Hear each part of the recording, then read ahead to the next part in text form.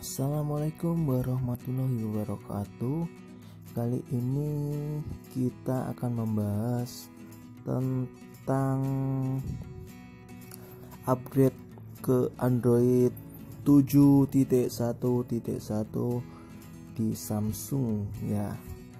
Di Samsung ini hari ini ada upgrade ke Android versi 7 di sini teman saya bilang saat update ke versi 7 dia mengeluh tidak ada suara waktu telepon dan sudah dicoba berkali-kali.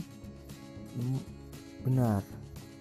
Hasilnya setelah di-upgrade ini dia HP-nya Samsung S version ya 8.5 dan Androidnya 7.1.1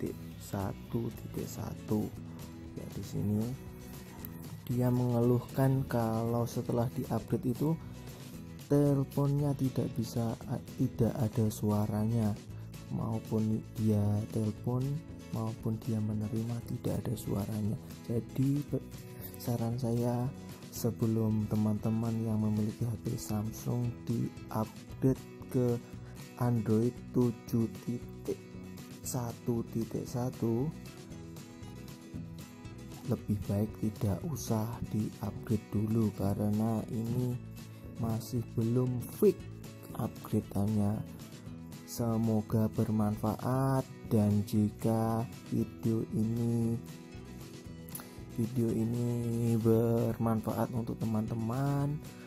Segera di like dan di share ke teman-teman yang lain. Jangan lupa subscribe channel saya yang ada di pojokan kiri bawah ya untuk membuat channel saya lebih baik lagi. Terima kasih. Wassalamualaikum warahmatullahi wabarakatuh